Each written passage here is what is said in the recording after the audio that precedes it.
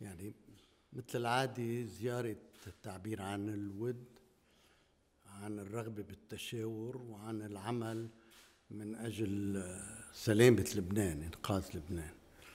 يعني الله يحمي لبنان.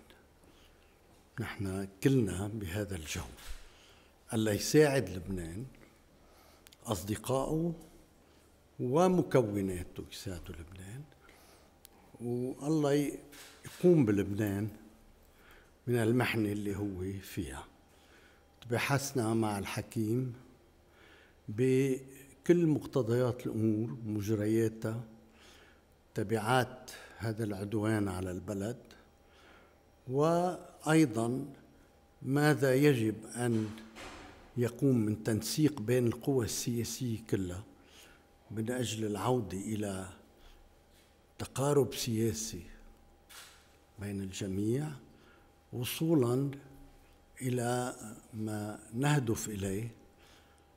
نحن بتعرفوا موقفنا نحن عم ننادي بهدنة والأستاذ وليد جنبلاط يرى في الهدنة واتفاقية الهدنة سنة ال 49 يمكن مش بديل لل 1701 ولكن مظلة حقيقية بتعيد البلدين إلى وضعهم الطبيعي البلد المعتدي والبلد المعتدى عليه. كذلك الأمر آه، طبعا تطرقنا إلى ما هو مأمول من قبل الجميع وهو انتخاب رئيس جمهورية للبنان لتعود المؤسسات إلى القيام بدورها ودورها عم بيكون هلأ أمام تحديات أوسع أكبر أكثر خطورة خصوصا إنه في أجزاء من البلد عم تتدمر في مواطنين أعزاء علينا عم بيتهجروا عم بينزحوا وطبعا قلوبنا ومناطقنا مفتوحة لهم ولكن كل ذلك يقتضي معالجة سريعة اليوم وما بعد اليوم لأنه الأيام عم بتكر وعم بتكر للأسف مع مزيد من المآسي.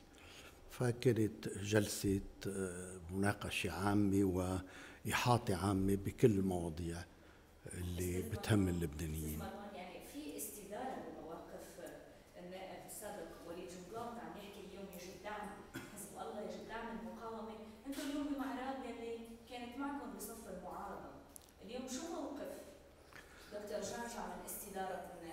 يعني؟ نحن ما بتسميها دغري استدارة، الناس بتحب هيك تلبس الأستاذ وليد جبلاط كلمة استدارة، لا هو هو هو هو كان من الأساس من المحذرين من أي انجرار إلى النقاء إلى حلقة القتال. آه، بالوقت نفسه لما آه، لبنان صار واقع بهالجورة ما بيقدر يترك لا القوى السياسيه ولا القوى الشعبية بهالجورة بدون ما يمسك بإيدها.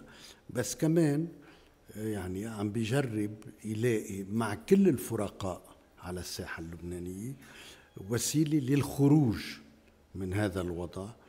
ولما بيطرح رئاسة الجمهورية كنا دايما منسقين مع هون على رئاسة الجمهورية ما تنسوا. ولما بيطرح الهدنة من الأساس هو برأيه أنه ال 1701 ما كانت عم تطبق لا من العدو ولا من عنا. إنه الهدنة بتأمن آه، يعني وضع على الحدود آه، دائم الاستقرار ومتوازن في ابتعاد القوى العسكرية من الجانبين على الحدود. فكان دائما نظرته على طريقة وليد جنبلاط أشمل وابعد ولقينا هون كمان شموليه وبعد؟ شكرا. رئيس امبارح إنه وليد بيك أخلص الخلصاء. ما في يوصل لخلاصه وليات يقول له للرئيس بري تفضل. دعي لجلسة لمجلس النواب لانتخاب رئيس الجمهورية. وليد بيك أخلص الخلصاء للبنان للقضية العربية ولكل مكونات لبنان لماذا لا يطلب اليوم و... فتح مجلس النواب. أخي في. نواب قدموا عريضه بضرورة عقد جلسه لبحث الوضع اللي عم بيصير بالبلد. هيدي من الأمور اللي بحثناها. آه، متطلبات آه، جمع مجلس النواب آه، آه، المندوب الفرنسي كان هون الأستاذ الوزير لودريان. وتناقشنا أيضا مع الدكتور جعجع. ما قاله وما قيل له وكذلك شو صار معنا طيب